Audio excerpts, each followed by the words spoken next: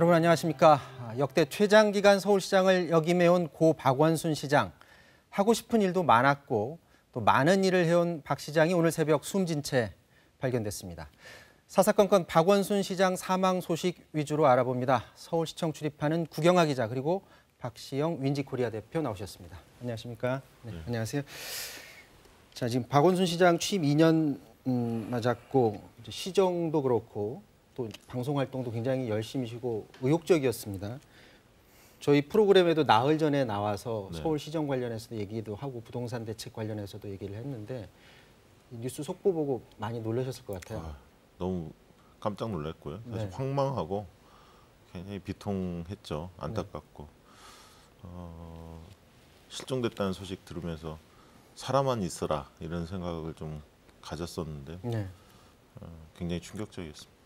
서울시청에서도 이 속보 나오면서 굉장히들 많이 놀랐었을 것 같아요. 어땠습니까? 네, 그렇습니다. 사실 좀 이상한 낌새는 그날 오전부터 있었습니다. 박 시장께서 워낙 활발한 활동을 해왔기 때문에 일정을 취소하는 경우는 거의 없었거든요. 네. 보통 일정이 추가가 되는 경우는 있었는데 이례적으로 오전 10시 40분에 오늘 음. 오후 일정이 취소될 거다라고 하면서 아 이거 오늘 좀 이상한데라는 분위기가 좀 감돌기는 했습니다. 자, 이 상황을 좀 보죠. 어제 오후 5시 넘어서 이제 실종 신고가 있었고 시신 발견까지 지금 7시간 정도가 걸렸습니다. 상황이 어땠었나요? 네, 첫 신고는 박 시장의 네. 딸이 경찰에 직접 한 것으로 알려져 있습니다. 네. 이 어제 오후 5시 17분 정도에 실종 신고가 접수가 됐는데요. 박 시장 딸이 아버지가 이상한 말을 하고 나갔는데 전화기가 꺼져 있다라고 신고를 한 것으로 알려져 있습니다. 네. 구체적으로 어떤 발언을 했는지는 알려지지 않고 있습니다. 이 경찰과 소방은 박 시장의 마지막 통화 기록이 남았던 성북구 일대와 북악산 주변을 집중적으로 추색을 했고요. 네. 이 수방 소방 구조견까지 투입한 끝에 0시쯤에 예, 숨진 박 시장을 찾았습니다. 자, 어제 속보 일보가 나올 때만 하더라도 저희 KBS 속보도 마찬가지였습니다. 유언 얘기가 일보 때는 없어서 어, 이- 혹시나 하는 마음이 있었는데 이게 대대적인 수색이 바로 들어갔던 게 유언이 있었기 때문에 이렇게 대대적인 어, 수색이 있었던 거죠. 그, 그 부분에 대해서 서울시는 공식적으로 설명을 하고 있지는 않은데요. 네. 아무래도 박 시장의 딸이 직접 신고를 했다는 점에 음. 대해서 경찰 쪽에서도 신중하게 생각을 했던 것 같고 네. 이제 박 시장이 어제 같은 경우에 시청에 아예 출근하지도 않고 연락이 두절되면서 음. 서울시에서도 긴박한 분위기가 감지가 됐습니다. 자, 수색이 끝난 다음에 경찰이 브리핑을 했습니다. 이 내용 보도록 하겠습니다. 7시간 동안의 대대적인 수색을 진행하여 7월 10일 00시 01분경 성북구 북악산 성곽길 인근 산속에서 사망한 채로 발견되었습니다. 그 지점은 어, 숙정문과 그다음에 삼천각 그 중간 정도로 보시면 되겠습니다. 소방 구조견이 먼저 발견을 하고 이어가던 소방대원과 우리 그 기동대원이 함께 어, 확인을 했습니다. 현장에서 어, 가방, 핸드폰, 그리고 소지품 일부가 다 발견이 됐습니다. 현재까지 현장에서는 유수는 발견되지 않았습니다. 현재로서는 특별한 타살 혐의는 없어 보이지만은 향후 변사사건 그 처리 절차에 따라서 어, 심도 깊은 수사가 진행될 예정입니다. 그 자, 현재까지는 타살 혐의는 발견되지 않았다. 자, 그렇다면 어떻게 부검이 이루어지는 겁니까? 어떻습니까? 사실 부검을 하기 위해서는 유족의 동의와 검사의 지휘가 필요합니다. 네. 이 검사의 지휘가 필요한지 여부에 대해서 지금 판단이 진행 중인데요. 네. 이 실제로 부검할지 여부는 오늘 오후 8시 정도에 정리가 될 것으로 알려졌습니다. 가족들과 좀 협의가 좀 있어야 되겠죠. 네, 그리고 타살 혐의점이 있는지에 대해서도 검사가 판단을 해서 음. 실제로 필요성이 있는지를 판단하게 될 것 같습니다. 빈소 지금 마련됐죠. 네, 빈소는 서울시 영건동에 있는 서울대병원 장례식장에 이미 차려졌는데요. 네. 이곳에서는 가족과 지인의 조문만을 받고 있습니다. 음. 자, 지금 빈소가 마련된 서울대병원, 서울대병원에 저희 KBS 취재진이 나가 있습니다. 취재 기자 연결해 봅니다. 신지수 기자, 지금 조문이 시작이 됐죠?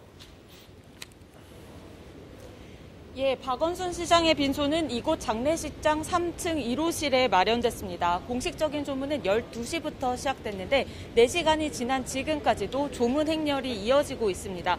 방금 전에도 강기정 정무수석과 노영민 청와대 비서실장, 심상정 대표가 빈소를 찾았습니다. 또 12시쯤 빈소를 찾은 이해찬 더불어민주당 대표는 민주화 운동을 하면서 40년을 함께 해온 오랜 친구가 황망하게 떠났다는 비보를 들어 애석하다 고 밝혔습니다. 취재진이 박 시장의 성추행 관련 의혹에 대해 묻자 예의가 아니라며 화를 내기도 했습니다. 이외에도 이용수 할머니, 손학규 전 의원, 반기문 전 유엔 사무총장 등이 빈소를 찾아 유족들을 위로했습니다. 앞서 경찰은 오늘 새벽 0시쯤 북악산 성곽길 주변 숙정문과 삼천각 사이에서 박 시장의 시신을 발견했습니다. 3시간 남짓 현장에서 시신을 검시한 뒤 새벽 3시 반쯤 시신을 병원으로 옮겼습니다. 박 시장의 시신은 병원 응급실로 옮겨졌고요. 의료진이 사망 진단을 내렸습니다. 시신 발견 소식이 전해지면서부터 서울시 관계자 수십 명과 평소 박 시장과 인연이 있었던 민주당 의원 몇 명이 이곳에 도착했습니다. 박 시장의 시신이 병원에 도착하자 기다리고 있던 일부 시민과 서울시청 직원들은 오열하기도 했습니다. 박 시장의 장례는 5일장으로 치러질 예정이며 발의는 13일입니다. 또 박 시장 시신에 대한 부검 여부는 아직 결정되지 않았습니다. 사건을 담당하고 있는 서울 성북경찰서는 부검 여부는 검사 지휘가 필요한 사안이라며 오늘 오후 늦게나 결정될 것으로 보인다고 밝혔습니다. 박 시장의 정확한 사망 경위도 그 이후에 파악될 것으로 보입니다. 지금까지 서울대병원에서 KBS 뉴스 신지수입니다. 자, 구 기자 이게 네. 장례식이 이제 서울시장 5일장으로 치러진다고 하고요. 시민위에서 시민 분향소도 마련이 됐죠. 네, 지금 시민 분향소가 설치가 됐는데요. 네. 사실 시민을 위한 건 아니고 직원들을 위한 시청 음. 분향소를 시청 외부에 설치했는데 내일 오전 11시부터 시민분들도 분향을 하실 수가 있습니다. 그러니까 시민분들은 내일부터 분양이 가능하다. 네. 아, 그 얘기고요. 자, 박시현 대표님. 네. 이 정치권에서 지금 조문이 잇따르고 있다고 하는데 아무래도 네. 박원순계 의원분도 이분들이 많이 찾아오실 오실 것 같고 네. 또 많이들 힘들어할 것 같습니다. 지난 총선에서 그 박원순계 의원이라고 불릴 만한 분들이 많이 당선이 됐습니다. 네. 그래서 뭐 적게는 10명, 많게는 20명 정도 내다볼 정도로 네. 그러다 보니까 이제 선거 이후에 어, 박원순 시장이 굉장히 고무된 그런 어떤 음. 표정을 읽을 수가 있었는데요. 그만큼 이제 최근까지도 어, 시정에 충실하면서도 차기 대권에 대한 도전 그런 어떤 열의, 의욕 이런 부분들을 상당히 적극적으로 내비쳤거든요. 네. 그, 그러다 보니까 더더욱 이렇게 뜻밖의 일을 겪다 보니까 어, 정말 뭐라고 말씀드리기가 어렵네요. 네. 음. 박 대표님 SNS에 네. 글 올리셨더라고요. 네. 봤더니 어, 곧 박원순 시장 만나서 이런저런 아이디어도 내고 또 네. 시정에 대해서 논의할 계획이다라는 식의 글을 올리셨는데 네. 시정에 이렇게 자문도 하고 그러시나 보죠? 아니 뭐 직접적 자문은 아닌데 이제 네. 시정 운영이나 뭐 어떤 정치 행보에 대해서 궁금하실 때 가끔 한 번씩 찾아뵐 때가 있었습니다. 몇번 뵀었는데요. 어 제가 이제 개인적으로 운영하는 유튜브에 좀 나오기로 해서 아, 아뭐 좀 아이디어를 좀 뭔가 드려야겠다라고 생각하고 준비하던 차에 이런 일이 좀 벌어졌습니다. 이 박원순 시장을 직접 옆에서 볼 수 있는 기회가 혹시 많으셨나요? 아니면 많지는 않았지만 대면에서 몇 번 브리핑도 하고 토론도 하고 그랬었습니다. 어떻습니까? 시정 관련해서의 어떤 의혹? 네, 그러니까 뭐 이제 그 아무래도 이제 공무원분들이 이야기할 때는 네. 그 시장님 앞에서 좀 직설적으로 얘기를 잘 못하지 않습니까? 어려워하는 부분들이 있죠. 그렇습니다. 네. 이제 저희는 이제 여론조사도 하고 정책 컨설팅 같은 걸 하- 하는 게 이제 주업이다 보니까 네. 시중의 여론들을 좀 생생하게 전달하는 그런 역할들을 좀 가끔 했거든요. 네. 어, 진지하게 듣고 어, 본인이 듣기 좀 거북한 얘기도 솔직히 해달라 이런 네. 어떤 주문들이 많아서 굉장히 의미 있는 자리였습니다. 지금 박원순 시장도 시장이지만 지난해 이맘때 그 고 정두원 의원 네. 그리고 재작년에 고 노회찬 의원 네. 결은 조금씩 다릅니다. 그런데 지금 하필이면 이렇게 여름에 이렇게 많은 분들이 안타깝게 네, 죽음을 네. 맞이하셨어요. 그러니까 정치인들이 사실 극단적인 선택을 하는 경우가 최근 좀 늘었습니다. 네. 굉장히 좀 우려스럽게 생각하고요. 아무래도 이제 평생의 삶을 어, 송두리째 부정당하는 어떤 일들이 벌어졌을 때 그런 어떤 괴로움이랄까요, 두려움이랄까요, 이런 것들이 이제 공인이다 보니까 더 크게 느껴지지 않는가 그런 생각이 좀 들고요. 예. 어떻게든 좀 극단적인 선택은 좀 자제했으면 좋겠다는 생각이 솔직히 듭니다. 그러니까 이번 사망 사건이 뭐 무슨 이유 때문에 이루어졌는지 사람들이 그냥 추측만 지금 하고 네, 있을 뿐이긴 하지만 자꾸 정치인들이 자꾸 극단적인 죽음으로까지 이렇게 이어지는 것들을 보니 국민들이 굉장히 안타까운 부분이 네. 좀 많아요. 네. 자 그런데 어, 사망 사건 이 실종 사고가 나기 바로 전날 고소건이 있었어요. 성추행 고소건이 접수됐었죠. 네, 그렇습니다. 이 박 시장이 숨지기 하루 전날에 서울지방경찰청에 박 시장의 비서로 일했던 네. 어, 한 여성이 고소장을 접수를 했습니다. 네. 이 여성은 변호사와 함께 경찰에 방문해서 이날 새벽까지 직접 조사를 받았다고 하는데요. 2017년 이후에 여러 차례 성추행을 당해왔다라고 진술을 한 것으로 알려졌습니다. 또 박 시장이 보냈다는 어떤 사진과 메- 대화 내용이 담긴 텔레그램 메시지를 증거로 제출한 것으로 전해졌는데요. 경찰은 아직 고소인 진술만 받은 상태였습니다. 음. 이 참고인이나 아니면 박 시장 본인에 대한 조사가 이루어지지 않은 채 이 사건은 그대로 종결될 것으로 보입니다. 이게 사실은 어, 고소건에 대해서 지금 조사가 제대로 이루어지지 않은 상황이기 때문에 이게 맞다 틀리다가 지금 알 수 없는 그런 상황인데 오늘도 그렇고 계속해서 SNS 상에 출처 불명의 글들이 지금 계속 확산되고 있다라는 소식이고요. 이것 때문에 박홍근 의원이 당부의 메시지를 냈습니다. 잠깐 보시죠. 유족을 대신해서 좀 당부의 말씀을 어, 드리기 위해 함께 섰습니다. 지금 SNS 상에 근거 없고 악의적인 출처불명의 글들이 퍼지고 있습니다. 이로 인해 고인의 명예가 심각하게 훼손되는 것은 물론 가뜩이나 충격과 슬픔에 빠진 유족들의 유족들이 더욱더 큰 고통을 겪고 있습니다. 부디 이런 무책임한 행위를 멈춰 주십시오. 유족을 대신하여 간곡히 부탁드립니다. 어떤 이런 사망 사건이 있으면 네. 요즘 이제 카카오톡도 있고 SNS를 통해서 네. 출처를 알 수 없는데 이게 네. 사실인 것처럼 해서 글들이 굉장히 많이 번지고 있거든요. 그렇습니다. 어떻게 보세요?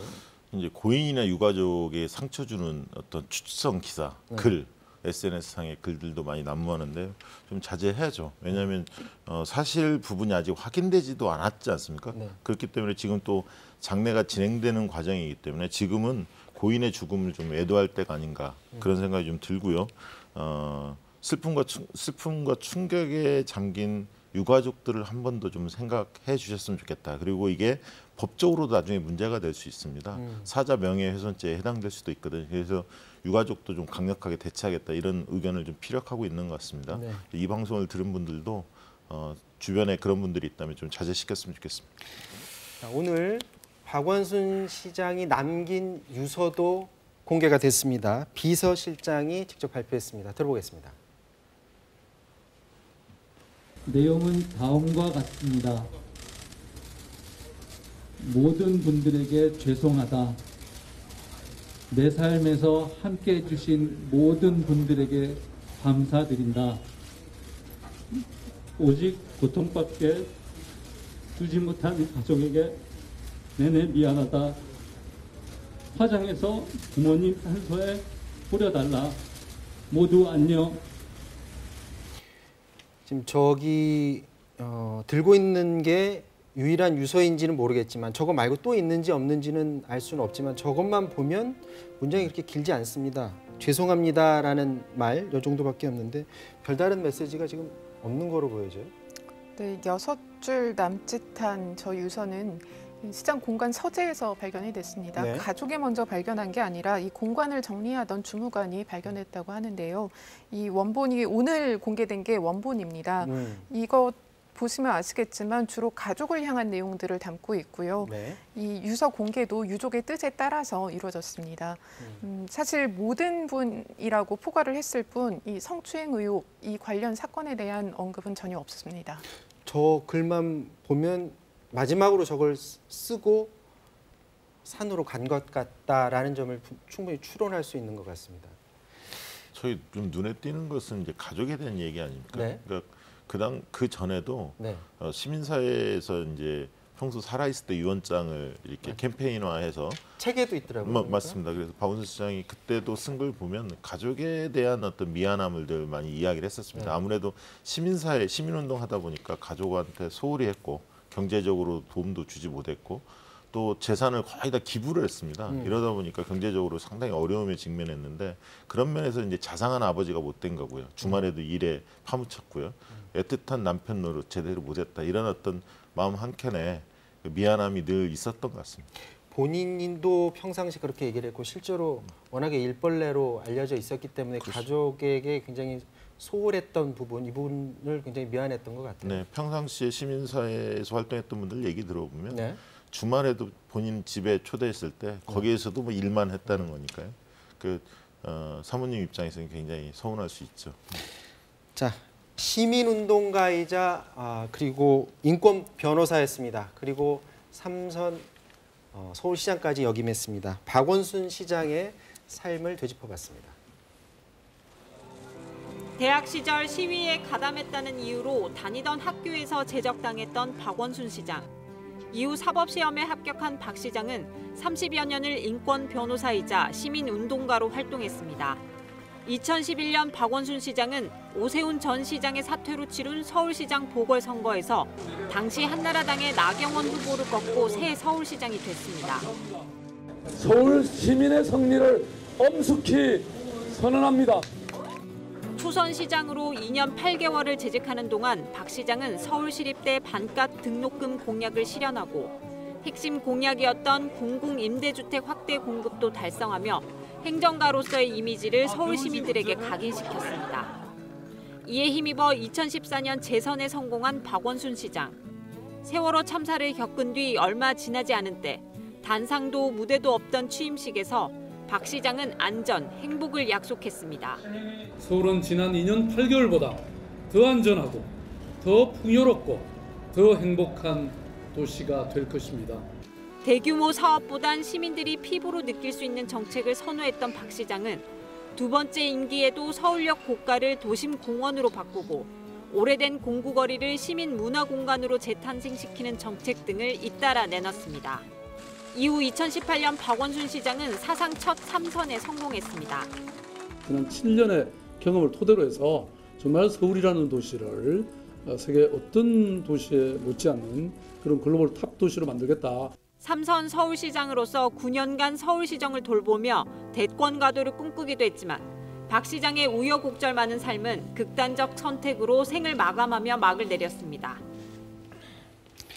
지금 요즘 젊은 사람들은 잘 모를 테지만 사실 박원순 서울시장이 시민 활동가로 예전 굉장히 유명했었고 또 인권 운동 이런 거 많이 했었지 않습니까?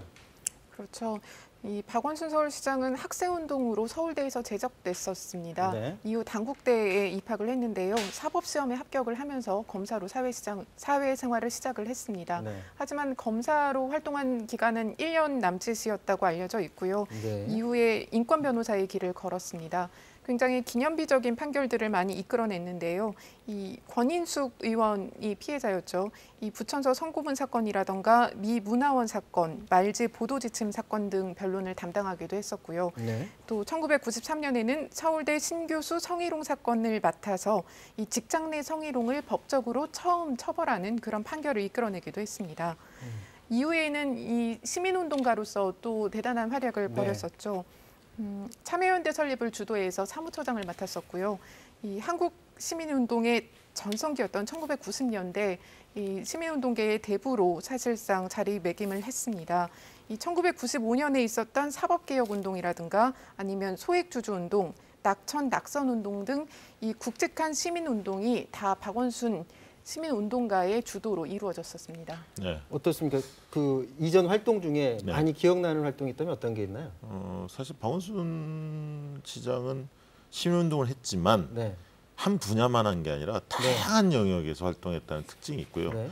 늘 새로운 의제를 늘 들고 나와서 그것을 사회적으로 울림을 줬고 그것이 어, 지금까지 이어져 온 예를 들면 이제 아름다운 재단도 기부문화, 아름다운 가게도 뭐 그런 의미가 있었고요. 참여연대는 감시 활동, 그다음에 희망제작소는 새로운 창안 운동 이런 식으로 우리 사회에 새로운 어떤 지평을 여는 여- 일을 늘 선도적으로 어, 해왔기 때문에 어, 시민운동의 대부로 좀 불리우는 분이죠. 그래서 어, 공공에 대한 헌신으로 좀 일관해온 삶이 아닌가 그런 평가를 할 수 있을 것 같습니다. 그 당시 2000년대인가요? 네. 낙선 운동 그때 우리 처음 그렇습니다. 그런 모습을 보고 사람들이 굉장히 아 정치권에도 네. 이런 바람이 불 수 있구나 그렇습니다. 많이들 놀랐었잖아요. 네, 그렇습니다. 시민사회 여러 단체들이 모여서 네. 어, 낙선 운동을 주도했죠. 네. 어, 물론 이제 그 결과로 많은 분들이 또 어려움도 있었습니다. 법적으로는. 하지만 어, 주권자 운동의 새로운 지평을 열었다 이런 평가를 받을 수 있을 만한 획기적인 사건이었죠. 그때 이후에 이런 낙선 운동 이런 것들이 그때만큼 계속 바람이 일고 있지는 않잖아요. 지금도 하고는 있습니다만 오히려 이제 낙선 운동이 과거만큼 그렇게 효과적이지 않다. 오히려 이제 당선 좋은 분들을 좀 발굴해서 당선시키자. 그래서 이제 그 뒤로는 오히려 팬클럽 같이 새로운 또 정치인을 지지하는 운동들이 좀 줄을 이루어왔습니다. 앞서 지금 구경화 기자도 언급을 했는데 최초의 그 성희롱 사건 관련 변호인이었어요. 그렇기 때문에 며칠 전에 있었던 그 성희롱 관련 고소건 이게 그래서 좀 충격적인 소식이었던 것 네. 같습니다. 어, 지금 많이 잊혀졌지만 93년에 서울대 그 우조교 우조교 네. 예, 성희롱 사건이 있었습니다. 그 당시 이제 박원순 어, 변호사였죠. 변호사가 앞장서서 6년여 동안의 이제 소송 끝에 승소를 했거든요. 그래서 굉장히 그때 어, 많이 화제가 됐었고요. 네. 어, 또 이제 박원순 시장은 보- 본인이 자칭 페미니스트다 이렇게 좀 이야기도 할 정도로 음. 여성 친화적인 정책들을 서울시에 많이 꽃피웠었습니다. 네. 어, 특히 여성 안심 귀가 뭐 택배라든가 택배 서비스라든가 귀가 서비스 뭐 이런 것들을 통해서 어, 여성 친화적인 그런 정책을 선도했기 때문에 어, 엊그제 고소가 이루어졌던 부분들이 굉장히 또 충격적으로 다가오는 게 사실입니다. 자, 구경화 기자, 서울시청 출입 기자로서 좀 의견을 듣고 싶은데 지금 오세훈 전 시장 2년여 임기 넘겨 받으면서 이제 시, 시정을 하고 있습니다. 해 왔습니다. 이제 뭐 공무원들이 너무 저 일벌레기 때문에 막 싫어한다 막 이런 소문도 돌고 그랬었는데 실제로 안에서 평가는 어떻게들 주로 들었습니까? 기본적으로 박원순 시장 같은 경우는 역대 최장수 임기를 지내온 상태였습니다. 네. 8년 8개월 동안 시정을 꿰고 있기 때문에 네. 다른 어떤 실무자보다도 강한 업무 장악력을 가지고 있는 상태고요. 네. 어, 그리고 본인 스스로도 굉장히 만기칠람하는 성격이라고 알려져 있습니다. 네. 그래서 모든 사안에 대해서 하나하나 다 짚는 성격이기 때문에 실제로 공무원들이 일하기는 힘든 부분은 있지만 대신 또 추진력이나 아니면은 미리 잘못된 부분들을 짚어내는 능력도 탁월했다라는 얘기들을 했습니다. 하지만 이미 임기가 세 번이 됐고 이제 대선 주자로서의 어, 행보를 보여왔기 때문에 시 내부에서는 아, 내년 내지는 내후년에 어, 시장이 과연 임기를 정상적으로 마칠 것인가 아니면 어, 이후에 언- 어느 시점에 출마 선언을 할 하고. 시정을 비우게 될 것인가에 대한 관심도 상당히 높은 상태였습니다. 그 오세훈 시장은 이제 좀 화려했죠 스타일이. 네. 굵직굵직한 것을 좀 많이 해내는 스타일이었고요. 박원순 시장은 그에 반면에 화려하지는 않지만 좀 실속 있는 시민들이 체감할 수 있는 어, 그런 정책들이 좀 많았고 선도적인 정책, 사회를 좀 바꾸는 이런 정책이 좀 많았다 보여지고요. 그래서 일각에는 박원순 시장이 에, 깨알 행정이다 이런 평가도 했습니다. 디테일에 그만큼 강하다 이런 얘기를 했는데 말씀하셨던 대로 기자님께 말씀하셨던 대로 이분이 일을 너무 많이 시켰어요. 그래서 공무원들이 그렇게 좋아하지는 않았습니다. 왜냐하면 외국에만 좀 나가 나- 외국에 갔다 오시면 네. 그 나라에 좀 좋은 그거 하자. 정책들 그거 하자 계속 얘기하니까 워낙 중요한 일들을 다 이게 건드리는 거론하는 이것도 해보자 저것도 해보자 이렇게 얘기하니까 공무원들은 굉장히 부담스럽고 업무에. 그러다 보니까 선택과 집중이 좀 안 보인다. 그래서 서울시의 대표 상품이 있느냐 이런 비판도 있는 게 사실이었습니다. 그 여기 출연했을 때도 그걸 제가 여쭤봤었는데 이전 시장들은 이제 보여주는 것들 큰 것들 이제 사람들이 직접 뭘 짚어봤을 때 아 이거 했었구나라는 걸 기억을 했는데 박원순 시장은 무엇을 했습니까?라고 여쭤봤더니 보여주는 게 뭐가 중요하냐 본인이 했던 어떤 복지 관련 그런 얘기들을 많이 하더라고요. 사실 그 일기 때 호평을 받았던 정책들이 상당히 많았었습니다. 네. 예를 들면 심야 올빼미 버스라 해서 늦게 그 퇴근하는 심야에 퇴근을 일, 일을 보고 퇴근하는 사람들을 위해서 버스를 심야에도 운영한다든가 네. 그다음에 점심시간에 주차를 단속을 안 하게 한다든가 이런 뭐 크지는 않지만 네. 시민들이 피부로 느낄 만한 잔잔한 일들이 굉장히 많았는데 그게 뭐 청계창이라 뭐 이렇게 큰 것처럼 보여지지 않아서 그렇지 의미 있는 일은 굉장히 많았고요. 어 저는 원순 씨라고 불리지 않았습니까? 네. 애칭이 있었지 않습니까? 네. 그만큼 좀 친근한 시장이 아니었나 그런 생각이 듭니다. 공무원들이 친근하게 세- 생각했을지는 잘 모르겠는 게 이제 여기 있다 보면은 영상들이 이제 서울시청에서 시장이 돌아다닐 때마다 영상이 들어오면 그걸 이제 컨텐츠를 만들잖아요. 막 많이들 돌아다니더라고요. 뭐 이번에 코로나 같은 경우에도 곳곳을 돌아다니면서 본인이 직접 하는 것들을 하는데 이제 직접 쫓아다녀 보면 어떻습니까?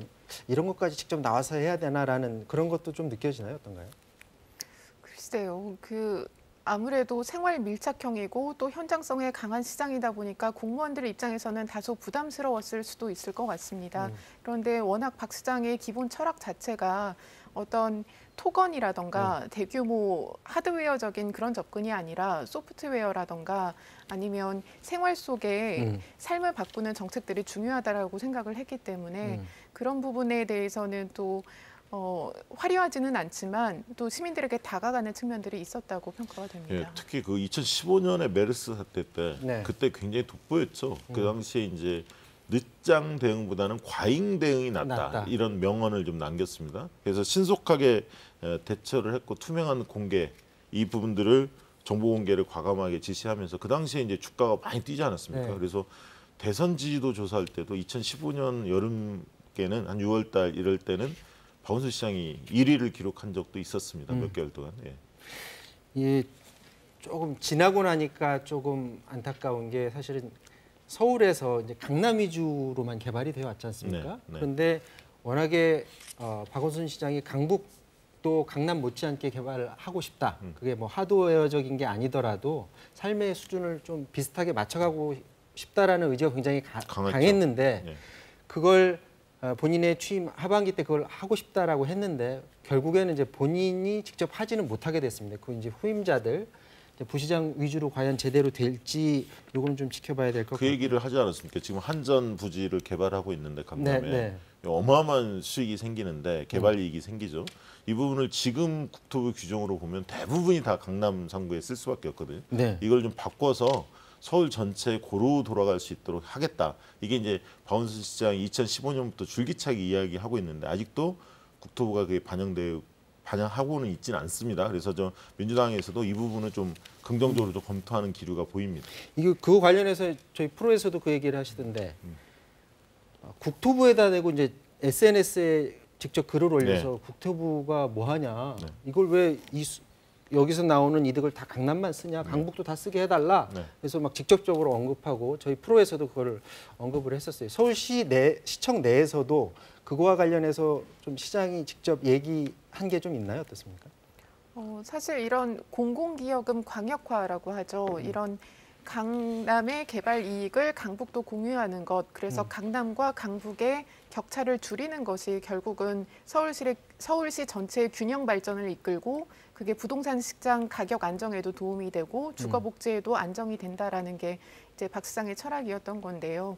사, 사실 이런 법적 제약이 있다 보니까 서울시 권한으로서는 이런 시행령을 개정한다거나 하는 조치들을 할 수 없기 때문에 어, 시에서는 이제 계속 건의만 하는 거죠 중앙 정부에 음. 이런 정책들이 사실 많이 반복되어 왔습니다. 음. 어, 박원순 시장이 어떤 권력 의지라기보다는 더 많은 일들을 하고 싶은 권한에 대한 좀 욕심 같은 게 높다라는 평가들이 좀 있었는데요. 네. 실제, 실제로도 이 서울시가 아무리 특별시라고 하더라도 광역 지자체이기 때문에 중앙 정부와 같은 권한을 가질 수는 없습니다. 특히 네. 이런 국토도시 정책에서는 그런 제한점들이 있고 그런 점에서는 여당이기는 하지만 여당과도 종종 대립각을 세우는 모습들을 많이 노출해 왔습니다. 음, 이 강남북 개, 아, 강남북 개발 동시 개발에도 많은 애정을 가졌던 건 확실하고 또 서울 시민들이 워낙에 관심이 많았기 때문에 부동산 대책 네. 관련해서도 어, 박 시장이 의지가 확고했었습니다. 지난 월요일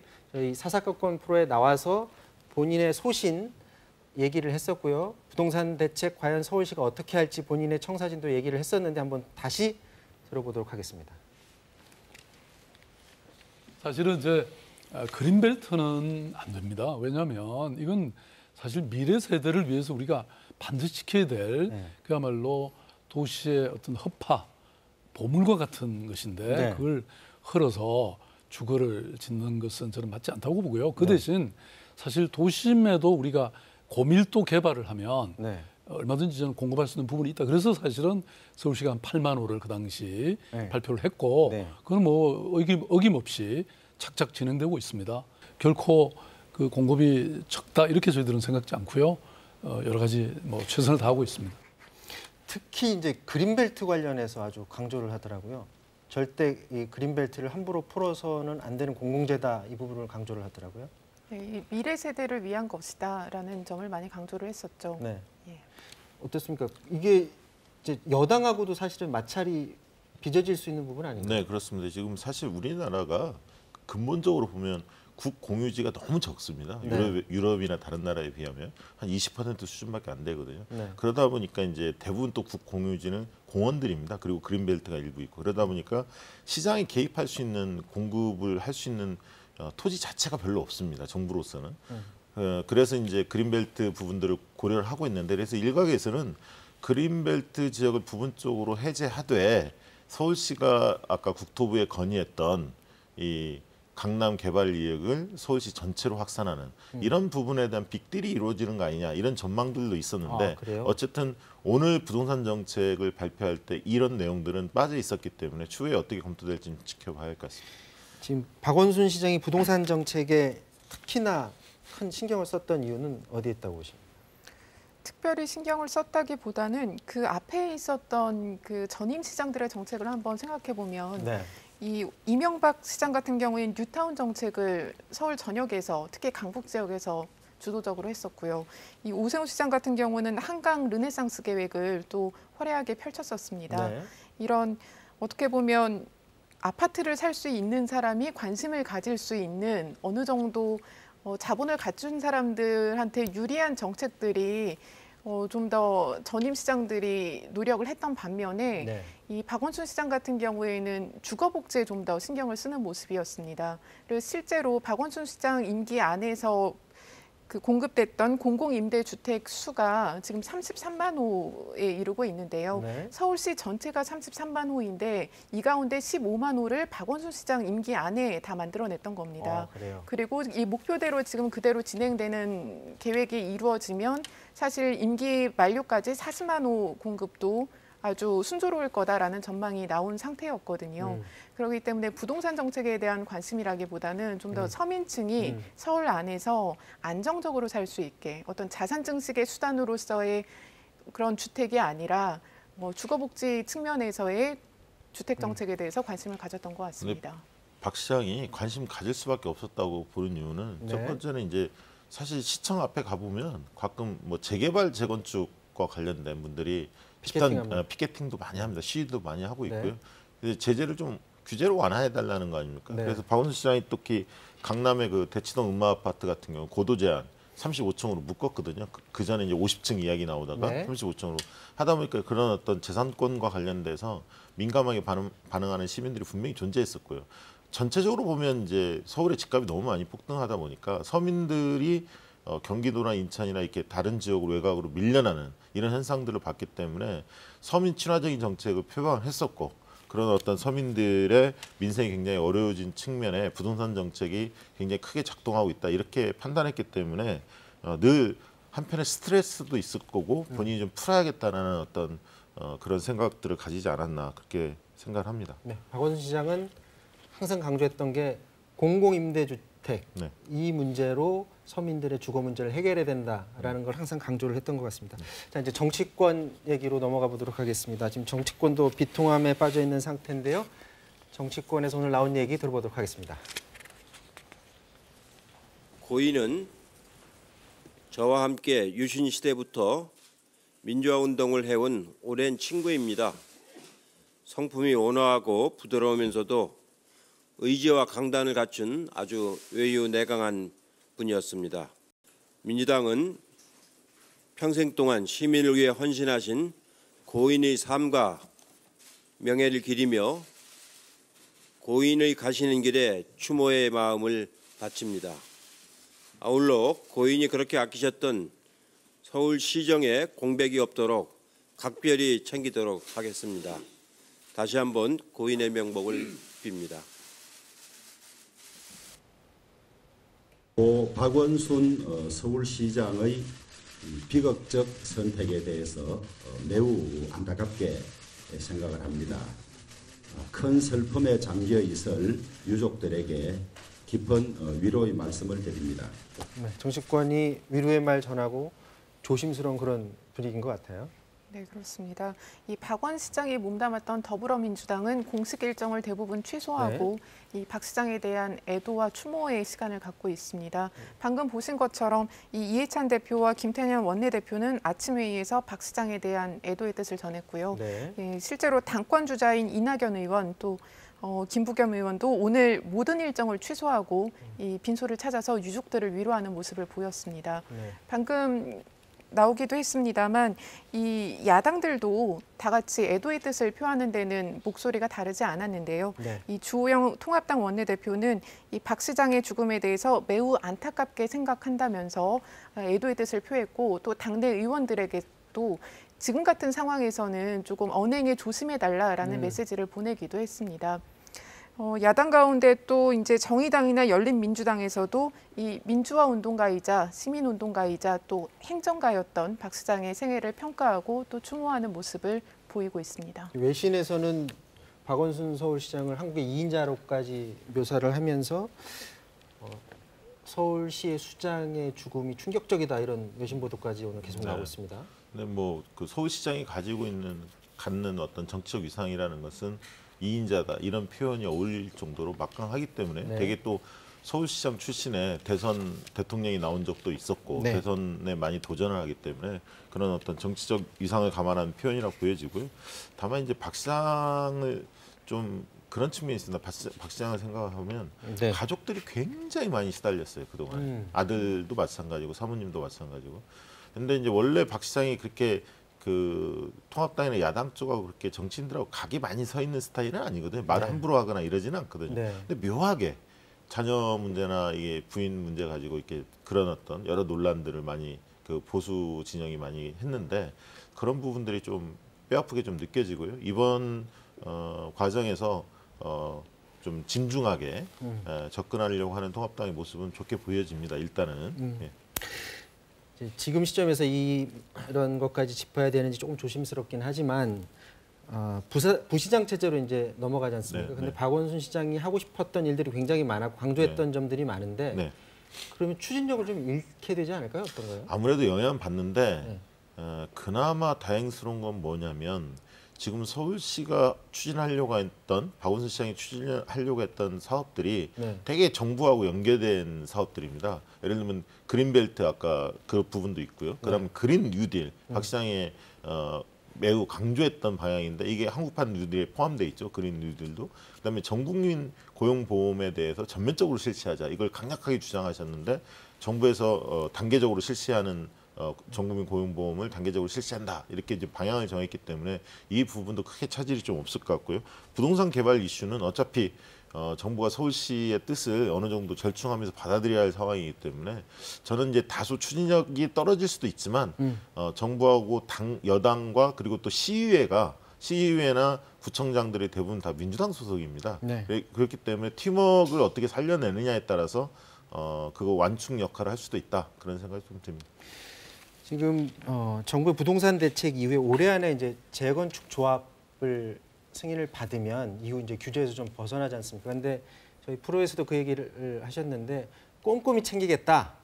뭐 이런 허, 허가를 뭐 많이 내주는 거 이런 걸 안 하는 식으로 말을 했었거든요. 재건축 관련해서도 기존의 생각과 좀 달리 추진될 수도 있을까요? 어떻습니까?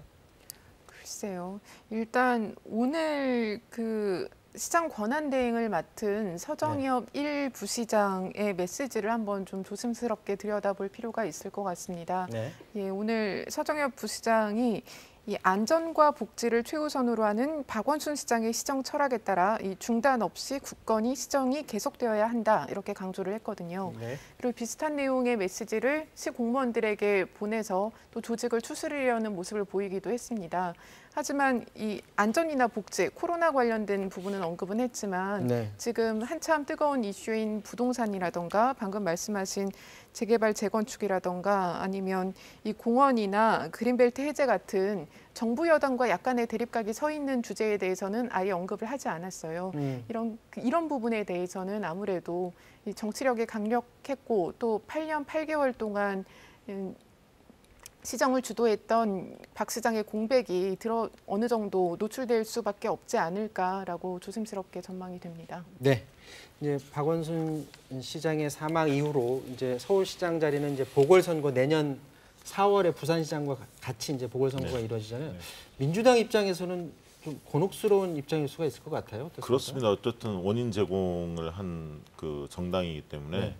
예, 곤혹스러울 수밖에 없고요. 그 다음에 이제 실제로 이제 후보를 낼 거냐 말 거냐부터 네. 이제 고민이 시작될 텐데 어, 결국은 낼 수밖에 없지 않을까. 왜냐하면 워낙 그 상징성이 큰 지역인데 어, 원인 제공을 했다고 그냥 넘어가기는 어려울 것 같습니다. 결국 이제 뭐 한 올 10월, 11월쯤 되면 각 당의 후보군들이 조금씩 거론되지 않을까 싶고요. 내부 인사들도 거론될 수도 있고 외부에서 어, 새로운 분들을 모셔와서 민주당이 내세울 가능성도 배제할 수 없다 그런 생각이 듭니다.